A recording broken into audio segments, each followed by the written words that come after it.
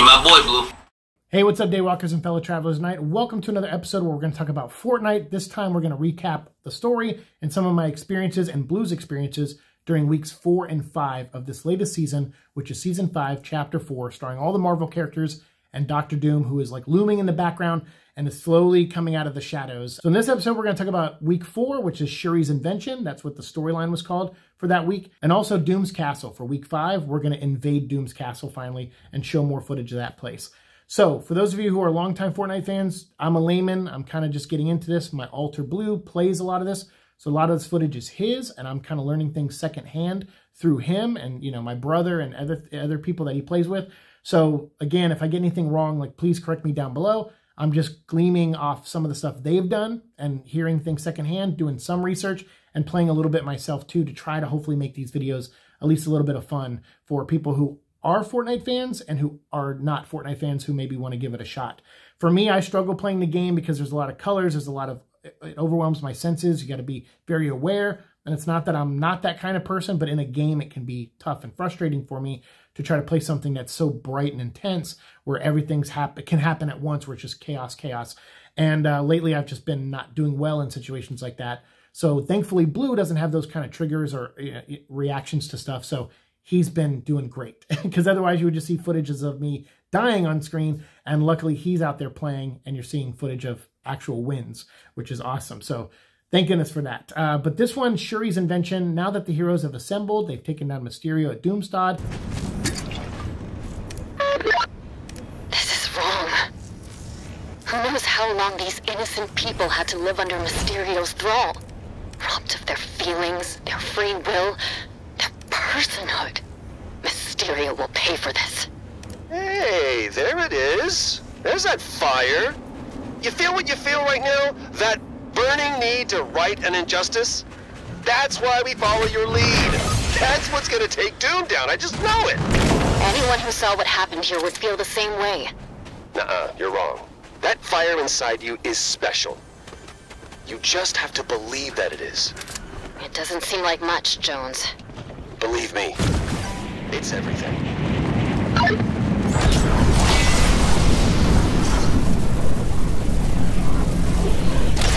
Now we have a real goal of, okay, let's go after Doom's castle. There's a Doom bot there, and we have to complete these missions. So every week they add new story missions. After we've met all the different heroes now in the last episode, the band is getting together and they're starting to assemble, or they have assembled, and now we're fighting back.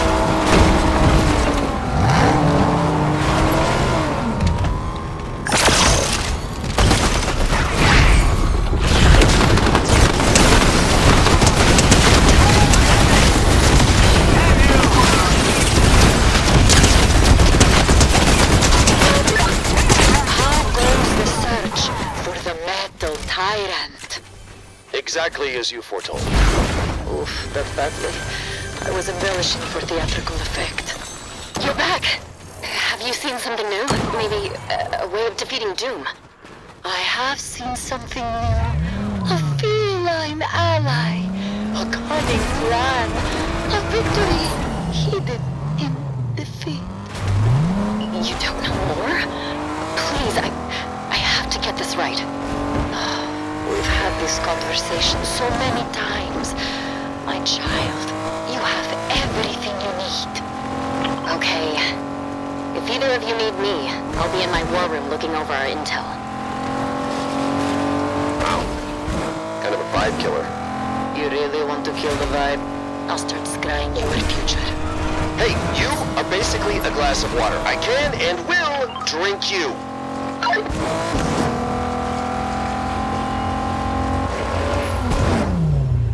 So Shuri comes up with a couple cool things to do at Doom's Castle. We have to plant these devices around and everything. So she has these shadow briefings she needs you to do. She has these three epic items that you got to go get at once, you know, or you know, to have three different epic items in your inventory. Um, you have to deliver parts to her at one point of the story, and then you also have to attach those rift calibrators that I was talking about on the rift beacons, uh, which is cool. So you have to go over to the Doom Castle and set up these rift beacons. And actually, this is something I don't think Blue did successfully. I think what happened was he had that activated, and one of his teammates went and activated the rifts without him. And either that or it just skipped over it. Because I was looking through the footage and I'm like, am I missing a chunk of time? Like, did it cut out? Did the you know the uh, internet cut out or something? And he's like, no, man. Like, it, I, I played straight through. And he goes, but that mission, I never went to Doom's Castle to do it. So I'm like, well, how did we get it done then? So I don't know, just a weird black hole that we entered or something because I don't even have the footage of him activating those calibrators. So yeah, it, very interesting. Or those recalibrators, but something gets set up over at Doom's Castle. I'll just take the word of the game, you know, saying that it got done, and that is supposed to like kind of deflect energy or, or build up energy around that area, which will get used later on, uh, I'm sure. So having that all set up your mission now is to go and attack the Doombot at the castle, which is not as easy as it sounds, especially if you land there first, which a lot of times you have to, because the map usually shrinks past it uh, instantly. You know, so you get there and you got about maybe two or three minutes to take out any other players and to take out the Doombot as well and then gather whatever supplies you need, still be healthy enough to escape, and maybe get in a car or a jetpack or something and get out of there before the storm comes. So it is tough. I mean, occasionally you'll get one where the map shrinks towards Doom's Castle, and I have some footage of Blue doing that, which is awesome that it actually happened while he was playing. But um, yeah, for the most part, it, you're going to be there for a couple minutes before the first storm hits, and you got to get out of there because a lot of our footage is of us running, you know, out of the castle. So uh, the Doombot though is really cool. He's sitting on a throne made of the Thing from Fantastic Four, which is I don't know, kind of cool and kind of creepy on some level. He's sitting on the Thing's lap basically, and he, it's just this rock throne that he made. And again, it's not Doctor Doom himself; it's a very powerful Doombot, and uh, and he's just kind of watching over things, making sure the castle doesn't get attacked while Doom's away building this power. Because like I said, there's those dig sites going around, so you have all these like henchmen and stuff working for him that are walking around in groups of three and five and six, I think. And they're and including at the castle, there's you know, henchmen everywhere. So sometimes when you see footprints on your screen, it's not another player; it's a Doombot henchman guy. And so you got to you know judge whether you're going to shoot them or not. Because if you shoot one, everything gets activated, and Doombot and all the henchmen all come to your location and start attacking. So if you want that kind of heat, you know, go ahead and activate them. But just remember, other players are around too, and gonna have to deal with them if they show up too. So it's really intense and chaotic over there. But these henchmen that are at the site, they're looking for something. They're looking for this, uh, I think the Zero Point, which was something that was brought up in previous seasons. They made a cool comic book for Marvel for it. It was like a Marvel Fortnite crossover. And if you bought the hardcover, you got a cool like Spider-Man skin, which they just recently released during, I think, one of these weeks. They uh, put that costume back in the shop for people who wanted it because they brought back the fact that the Zero Point is being searched for by Doctor Doom himself. And so that's what his henchmen are digging for. They're looking for the zero point somewhere on the island. Um, and there's also these artifacts that are going to start landing. And we'll talk about Day of Doom in the next episode. I wanted to make its own episode for Day of Doom because it's a really cool like event game that they added in where it was just uh, not a live event, but just something kind of fun mini game kind of thing that you could play with other players that kind of progresses the story of Doom and him getting power from Pandora, the box, and everything. So yeah, that's definitely going to be our next episode. I want to talk about that in isolation. Because in this one, I just want to focus on that battle. Shuri inventing her thing, going to the castle, fighting the Doombot, and then retreating and talking to Hope. And kind of, again, motivating her and seeing her trying to, you know, listen and motivate herself and go, okay, let's let's come up with a plan. Shuri's invention didn't really do what we wanted it to do, but it did set us up for this. So maybe we can build off of that. And then I heard, you know, at this point, there's rumors of Iron Man maybe coming back. So I want to, you know, I want to investigate that. I want to see if Tony Stark shows up. And if so, we need him on our side. We could use him to help Shuri and they can build this thing together. And it's awesome. It's like this cool big setup. And what's cool about Shuri being involved in this too is if you've read the comic book, if you've played some of the previous seasons when Marvel came in before, Jonesy, the character that we talked about in the last episode, he actually has a love relationship kind of with Shuri. Like they both made this connection uh, previously, and they're kind of a little bit building off it in this one, but not too much. But I, I like that they're reunited now. You know, like these are two characters that were like, all right, kind of like Spider Gwen and Miles. Like, well, we might not see each other again, but it was nice to meet you and everything, and there was a connection there. But now they're fighting side by side together again. So you have Jonesy in the Captain America type outfit, and you got Shuri as the Black Panther working together. Um, so they both kind of like moved up in their ranks in a way and it's it's awesome. It's really cool to see and uh, and to kind of build that relationship even more.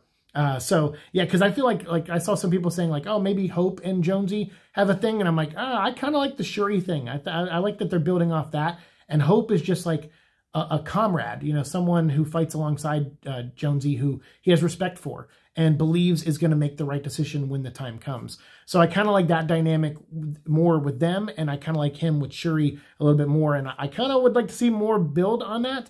But having it there, just knowing that they're fighting side by side again is is cool because it's like all right that they're that it's there it's happening the energy's there whether the game focuses on it too much or not.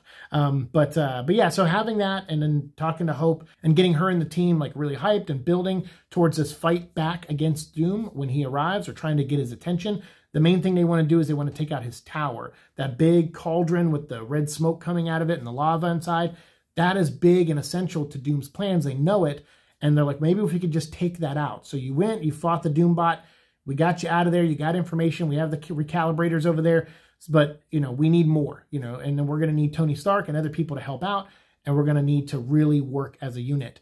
And luckily at this point is where hope starts to turn a little bit to like, okay, I'm, I'm accepting my role. I'm still reluctant about things, but I am going to try to accept my role because we are at a tipping point possibly.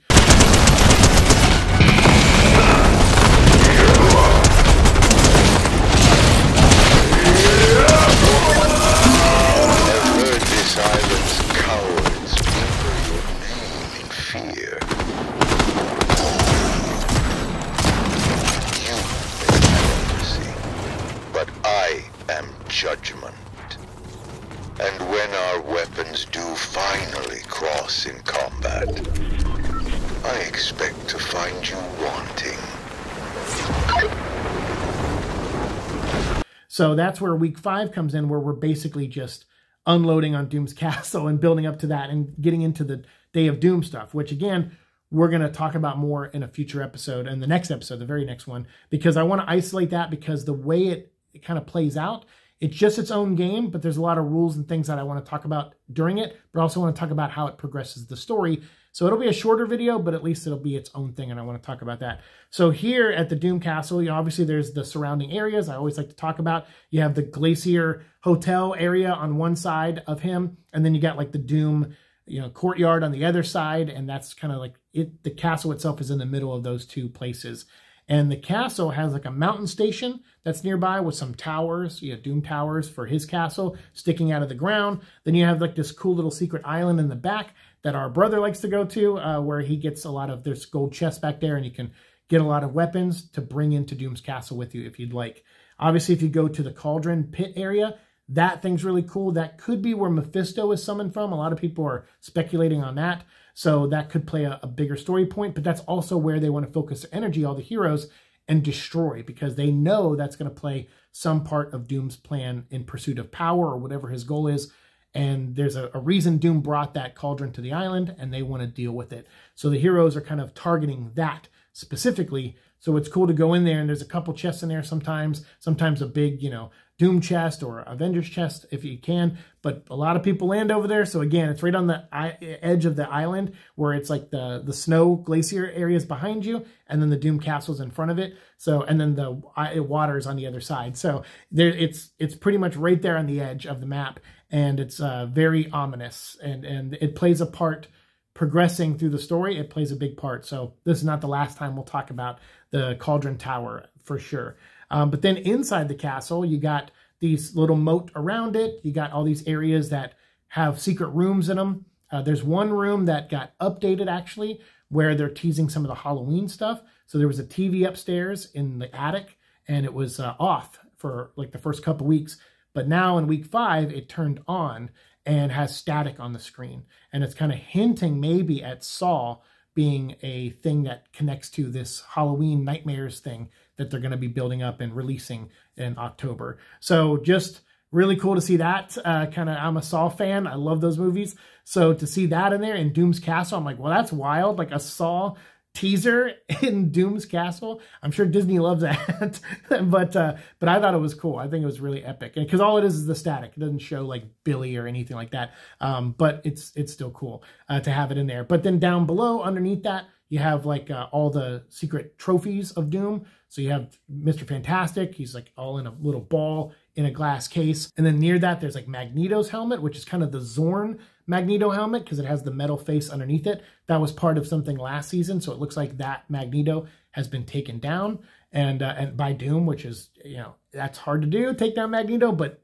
Doom is Doom, right? Um, and then there's also the Silver Surfer's cracked surfboard in that area in that's where the library is and there's a couple other little gems in there too and there's this awesome like painting of doom and latveria and stuff so really neat the detail they put in this all the fun they must have had putting all these easter eggs in there. Moon knight's you know moonarangs or whatever those are there in a glass case near the doom you know room that he sits in. But also in doom's room that he sits in there's the eye of agamotto you know dr strange's little trinket on his neck. That's in a case. You got the invisible woman which is just a case with nothing in it. So you're just assuming she's sitting in there.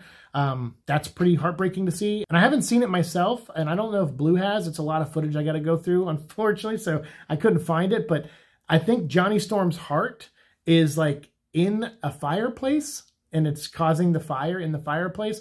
So Doom really took it to the Fantastic Four. He's like, I'm not going to be taken down by these guys or anyone else that fights alongside them. So he clearly went after them first and made an example, and then took down Doctor Strange and other people that might stand against him, um, obviously. So Iron Man and some of them, they went and had to like lick their wounds, but now they're starting to come back. So in week five, we got Iron Man coming back, and we got those secret missions from him that are underneath the Doomstadt house where the Stark fan club is.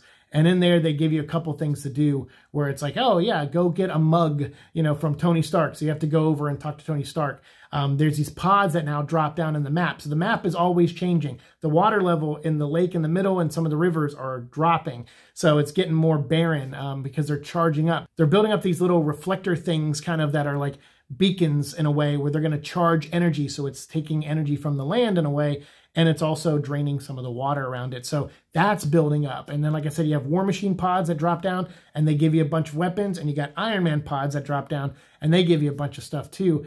And it's just cool to just see all this. Like, as a fan of these characters, it's just neat to like get Iron Man's boots and go flying and just have fun. Um, so I want to talk more about that in the next episode with Day of Doom um, because that plays a big part in Day of Doom too. But there's all these fun little missions you could do with those boots they also have Iron Man gloves that you can shoot with. Um, then you got War Machine. You can, if you get a War Machine pod, it drops a bunch of stuff for War Machine, like the shoulder cannon, and then his jetpack or his gauntlets too, his arsenal. So there's a lot of cool stuff that they added to this game to just add some spice to it, change it up so it's not the same every single week or every two weeks. They try to add some new things and change it up. But if you go down and do those secret Stark missions, it's pretty cool because you get the mug, you get the dartboard from War Machine, you get some sunglasses from like a case, one of the Iron Man cases, or because uh, they now they have a Doom cases, Avengers cases, and Iron Man cases. So if you find an Iron Man one and open it up, it's going to give you some sunglasses. And every time you get one of those things, you have to go back to Doomstadt. So if it's in a storm, you're kind of screwed. you have to go and do this before the storm swallows Doomstadt. Um, unless you're Blue. Blue went into the storm to finish this because he was like, I don't want to start another match and have to find the glass again. It's a pain in the butt sometimes if you don't get to a chest before other players do. So he's like, screw it. He went into the storm and went to the computer, activated it, gave the sunglasses, and then they were like, all right, you have one last mission left. Just update the computer. So then he did, and he completed it. And every time he did one of those, I think he went up an entire level or something like that. So it was a cool way for him to level up and get us to the level we're at now. Um, so really, really neat. To, he just risked it all and said, screw it. I got enough bandages. I got enough health. I'm going into the storm. I'm going to do this, and I'm going to take the boots and fly out of there. So if you ever need to make a quick escape in the game, those Iron Man boots are awesome, and they let you fly a pretty good distance while using them.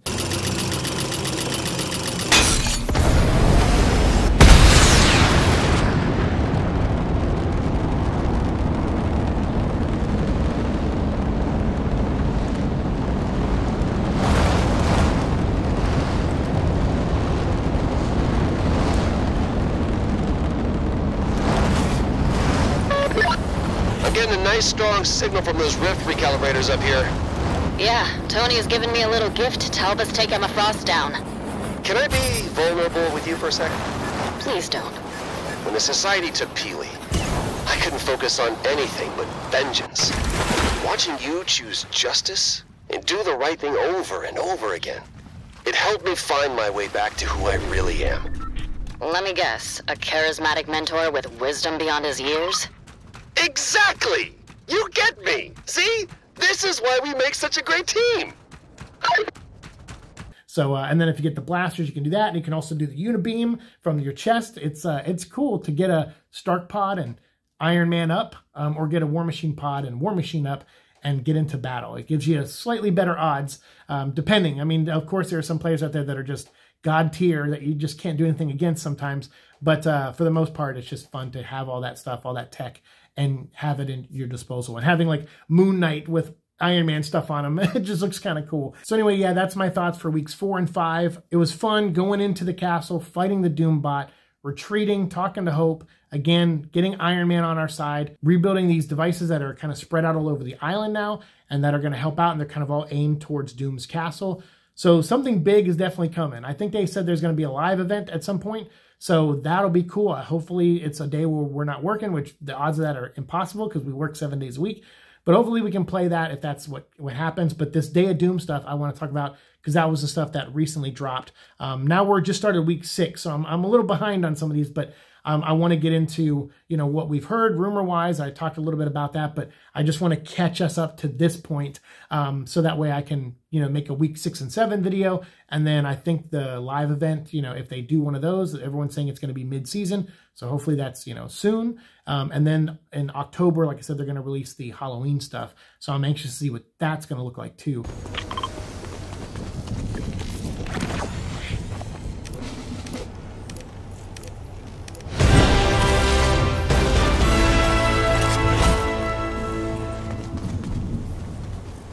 So as of right now, though, fighting Doombot at the castle and investigating the castle, walking around, seeing all the Marvel trinkets, and then just getting into a fight with this guy was fun. It was awesome, and it's kind of cool to see where these characters are in the story now, where they feel like, okay, we're we're actually fighting back. We're, we have a chance. Tony Stark showed up again. We got Shuri working on her stuff and improving her designs. We got Hope starting to believing herself a little bit, and Jonesy trying to motivate her.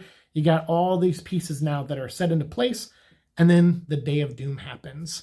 So in the next episode, we will definitely talk about that. It's a mini event thing that they did, um, not a live event, but just something fun, another mode in the game that you can play, and it kind of progresses the story a little bit. So we'll talk about that in the next episode for sure. Thanks so much for watching the show. If you have any questions or any comments, anything I missed, you want to let me know down below, please do, and we'll keep talking down there. Thanks so much. See you in the future. Peace.